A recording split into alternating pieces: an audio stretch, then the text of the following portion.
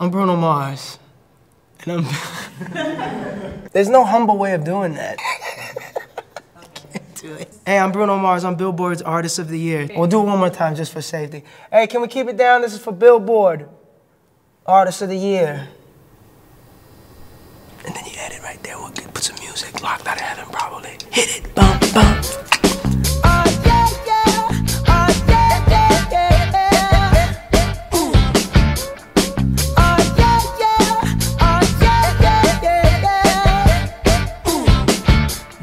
Let's do something different. Like, let's freak them out. Like, this is what Gaga would do. Hit it.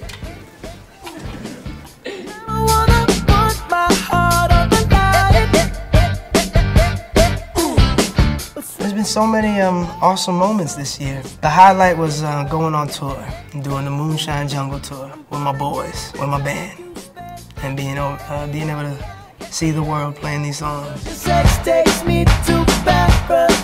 How does it feel to have two successful albums back to back? I feel like I haven't even started yet. That's what that feels like. It feels like I can't wait to get back into the studio. What makes Unorthodox Jukebox special to me, I'll tell you what, it's my album. I love to create music. And I'm, that's all I was trying to do with that album is to enjoy what I do. And that's going into the studio and writing whatever I feel. And um, I'm, I'm just happy that there's some people out there that like it. The Super Bowl, we've been rehearsing. My whole, my band, we're so excited. We can't wait to uh, get on that field and, and, and perform. We're having fun. I hope the fans can expect that. Expect to have some fun with us.